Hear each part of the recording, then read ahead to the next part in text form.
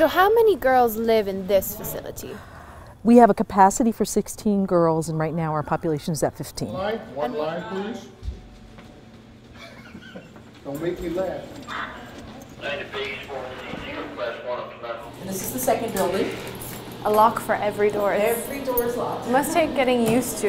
You're always aware of your know where your key we are servicing the 16 and 17 year old girls. It's based on an incentive system on how they do in program and how they uh, meet their, tr- their treatment goals. What if I wanted a validating comment about being here? If someone's asking how, just anyone in general asking how it feels to be in jail, Yes. I would say, I understand that you already have this stereotypical idea about me, but just because I committed a crime doesn't necessarily mean I'm a bad person. Very good. So, why is this a model for Raise the Age?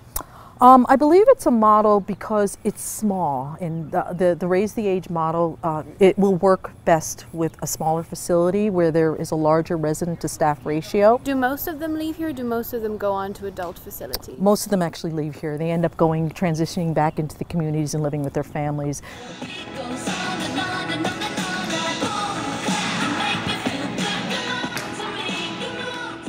So, it, I mean, they play volleyball, they're Yes. baking cookies. I mean, it seems a far cry from some of the experiences that young people have described to me being in adult facilities. Mm-hmm. Right, right. And one of the things to remember these are kids. They're adolescents, they're growing, they're learning, and this is our chance to have a positive impact on them for the time that we have them. And I think we do a real successful job at that.